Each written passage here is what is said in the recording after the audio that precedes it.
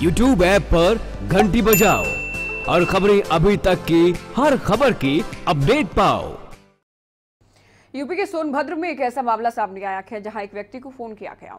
Phone पर कहा गया कि बैंक की डिटेल्स दो। मैं बैंक से बोल रहा हूँ, आपका खाता अपडेट हो रहा है। तो बैंक के खाते में जितने भी खाते से जुड़े डिटेल्स हैं, उनको पूछकर उनके खाते में जमा रकम 11 लाख रुपए में से 9 लाख इकहत्तर हज़ार तीन सौ चौरासी रुपए बारी बारी करके निकाले गए। आरोपी का बार बार फ़ोन आने से पीड़ित को शक हुआ तो उन्होंने बैंक में पूछताछ की, बैंक पहुँचे, पूछताछ की गई। उन्हें पता चला कि ये कोई जालसाज था पीड़ित ने इसकी शिकायत पुलिस को दी है। पुलिस ने अज्ञात आरोपी के खिलाफ मामला दर्ज किया है। मामले की जाँच भी पुलिस ने शुरू कर दी है।